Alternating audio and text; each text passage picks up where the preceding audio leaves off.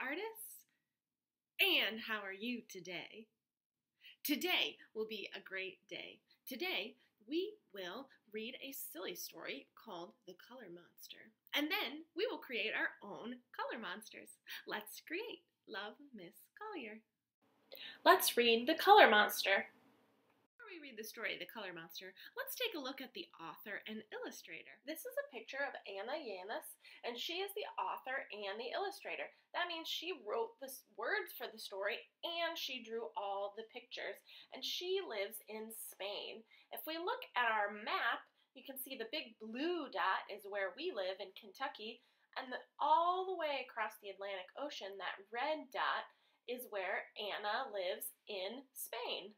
Many people who live in Spain also speak Spanish. Do you speak Spanish?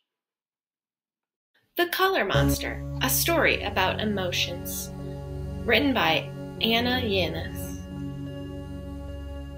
This is the Color Monster. Today, he woke up feeling confused and he doesn't know why. Are you all mixed up again, Color Monster? Your emotions don't work well when they're all jumbled up. You should try to separate them and put each one in its own jar. If you'd like, I can help you. Let's try to make sense of how you feel.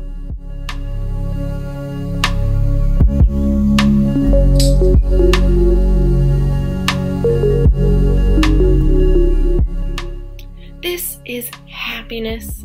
It shines yellow like the sun and twinkles like the stars. When you're happy, you laugh and jump and dance and play. You want to share your happiness with everyone. What does it feel like when you feel happy?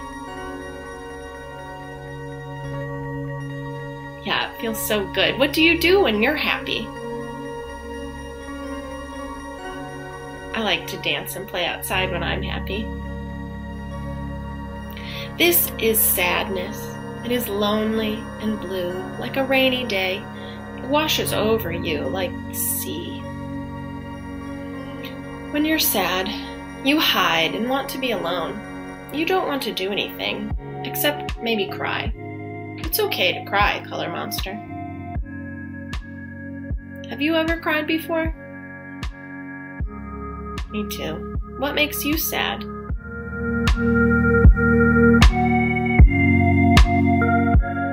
This is anger. It burns red like a fire, and it's hard to stamp out.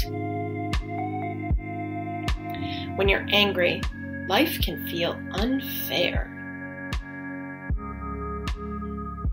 Sometimes you want to take your anger out on others, but I'll be nice to you, Color Monster, and your anger will disappear.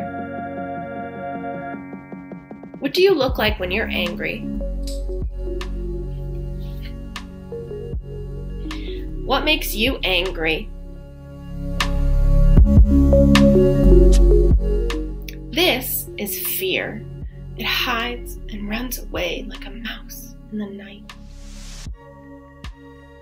When you're afraid, you feel tiny you think you don't have the courage to face the gray shadows, but I can help you find your way. What are you afraid of?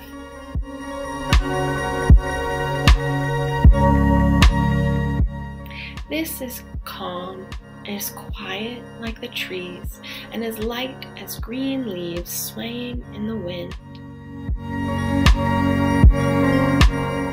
When you're calm, you breathe slowly and deeply.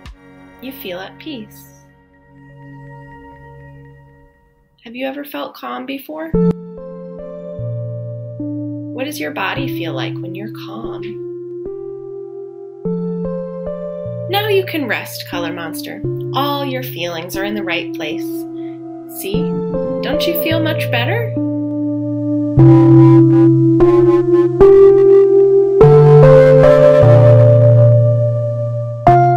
Uh-oh. I see you're feeling something new. You look different, Color Monster. Tell me, how do you feel now?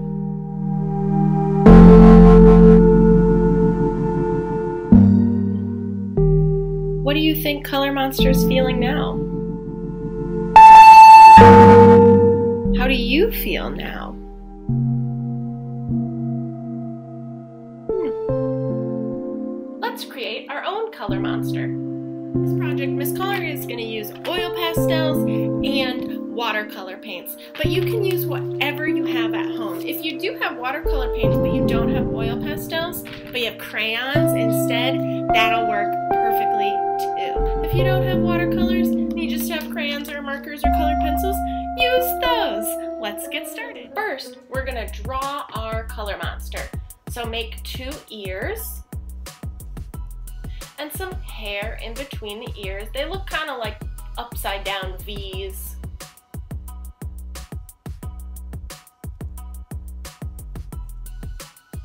And we'll draw the body. To make him look hairy, we'll make little sideways V's. Connect it down at the bottom. Then we'll add some legs. Make two short lines and two more for the other leg. And add some toes for the feet. Then give your color monster a mouth. You can make your color monster smiling or frowning, and you might add a couple teeth. For the arms, off to his side, do two lines and then a short little hand. Do the same thing on the other side. Don't forget his eyes.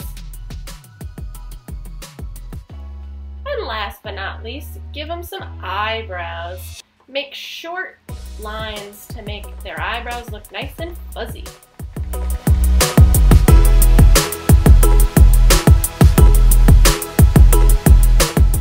For your final, final detail, draw some short lines to make your color monster look hairy.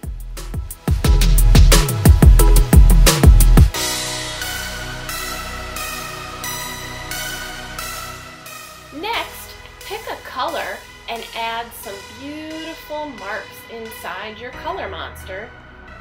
I'm going to use green for my first color. You can use whatever color you want. Use a couple colors to fill your color monster with beautiful color. I picked light green, dark green, and blue.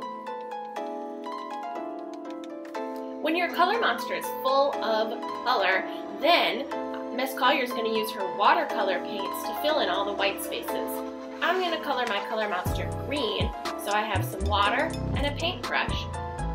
I get my paint nice and wet, and then I am going to spread that beautiful green paint and fill in all the white spaces. Let's fast forward and take a look.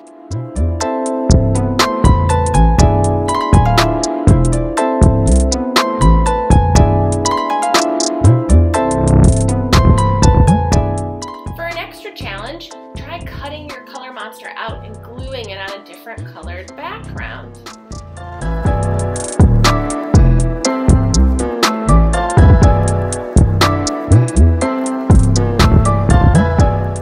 I can't wait to see how your color monsters turn out. Please take a picture of it so I can see your finished work. If you need help, please let me know.